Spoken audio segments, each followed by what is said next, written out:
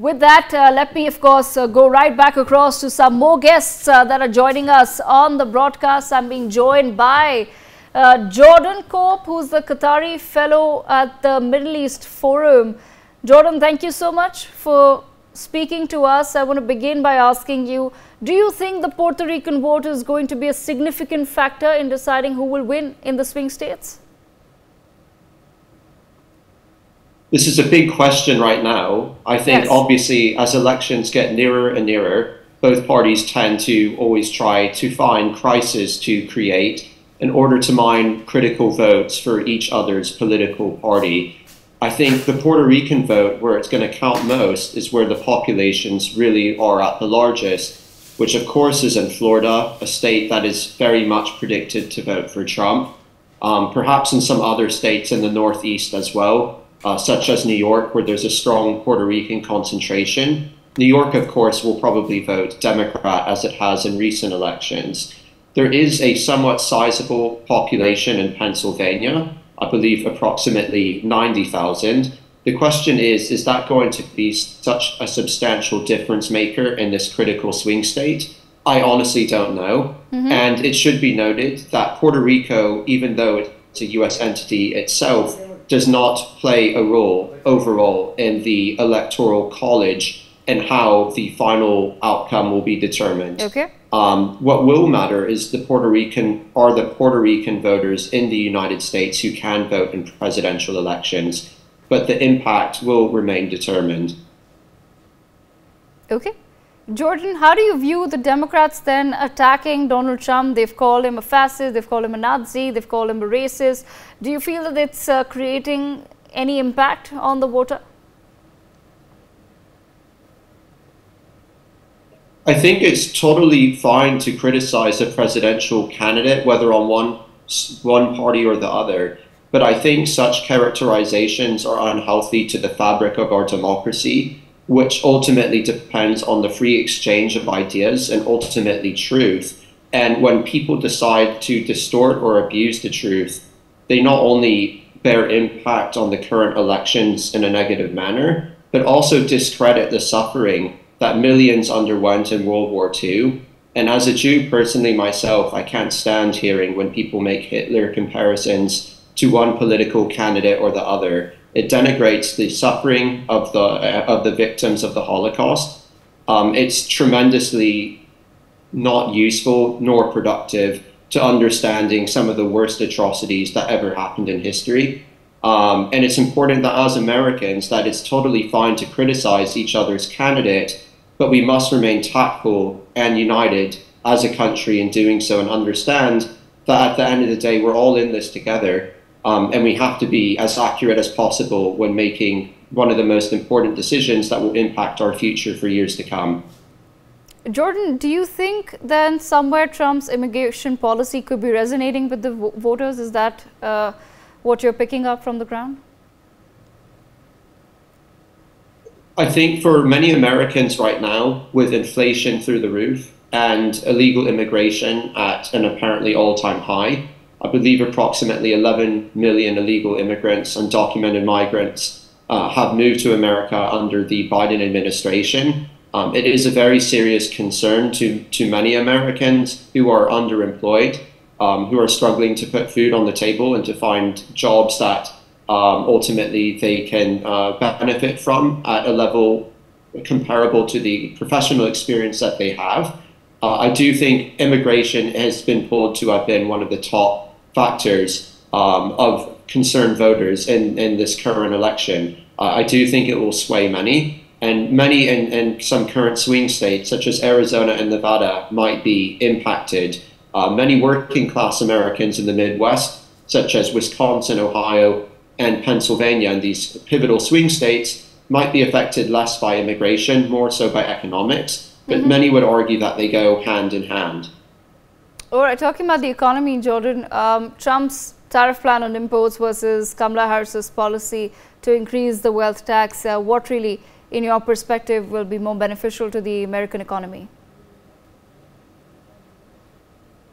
It's definitely a, a tricky question. I would argue that Trump's uh, tariff plan probably would impact America more positively if I had to choose from from both of which. Um, generally, many would econo- economists would support a more laissez-faire free market style economy overall. However, many Americans also realize that unfortunately some countries, uh, such as China, have currency and trade controls um, that adversely impact uh, trade with the United States. And, and many Americans feel that they have been disadvantaged by tariffs, um, whether it be um, with China, uh, excuse me, China imposing um, unfair trade practices against the US. Um, some, many Americans believe uh, Mexico, with some of its former trade practices towards the US through NAFTA, were, were not beneficial to the United States. Um, I can only see, unfortunately, a wealth tax um, undermining industry in America. Uh, many of our businesses have moved overseas for better or for worse. Uh, but ultimately, that impacts the American economy and job prospects significantly. So it's important for America to be able to retain its jobs uh, as the leader of the free democratic world. Um, at, at, least many many would agree with that statement. Um, it's important that America is able to retain its jobs to ensure that its population uh, maintains jobs that are not only in number, um, but those that correspond with professional experience. Um, so I would argue that unfortunately Harris's wealth tax uh, will unfortunately undermine America's economic prospects, job prospects, um, and America probably should be concerned. Okay, Jordan, I also want to bring in your perspective on abortion, which has been another major stickler as far as this particular election is concerned. Do you somewhere feel that majority of American women may end up backing Kamala Harris for her pro-abortion uh, position?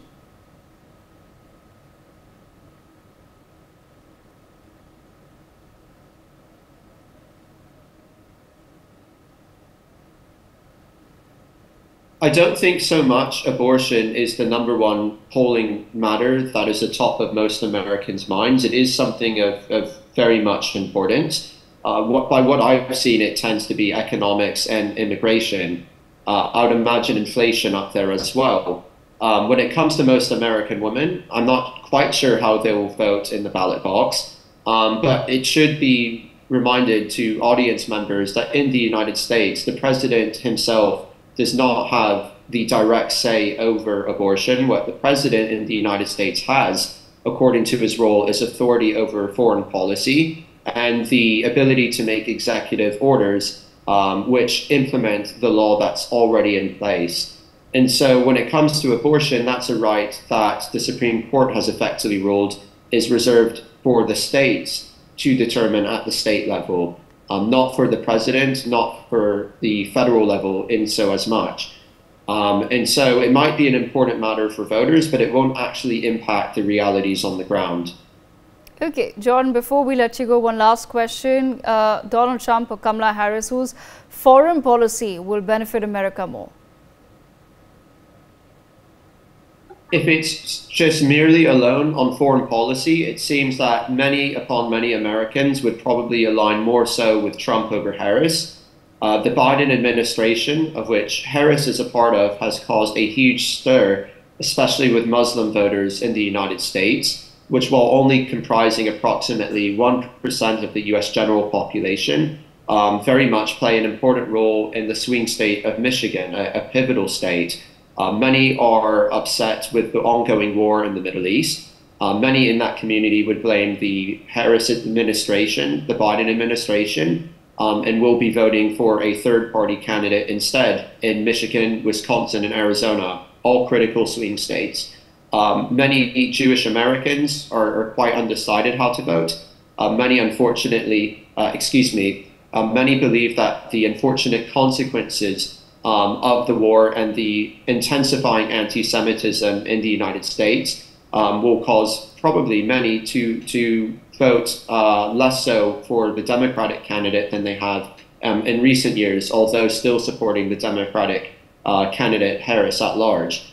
And so, foreign policy, I've written an article uh, previously about the current administration's policies in the Middle East, um, basically predicting uh, all the consequences that have now occurred um, and the devastation of the decision to undesignate the Houthis, to flirt with Iran and trying to restore a JCPOA nuclear deal.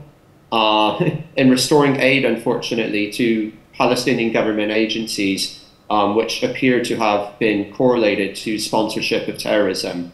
So this ongoing middle uh, war in the Middle East um, certainly is likely attributable um, to to U.S. policy, um, and it is my hope that whoever governs the United States in the next um, administration will better understand the consequences of actions uh, that America can make, especially um, in the Middle East and ultimately through the Middle East to the greater world.